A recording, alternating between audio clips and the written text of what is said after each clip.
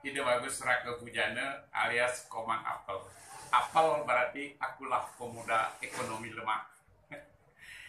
Terus terang saja ya, saya pernah kecewa. Karena apa? Istri saya menyesal. Saya tidak bisa memberikan kenikmatan pada istri saya. Mantap tuh Adi.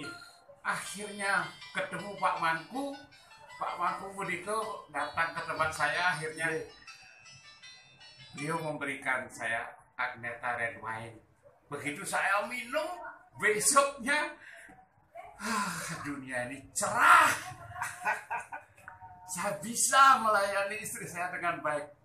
Itulah kehebatan Agneta Red Wine. Maka dari itu teman-teman sekalian, mari jangan loyo, jangan menyesal. Minum Agneta, saya yakin keluarga akan harmonis. Sukses.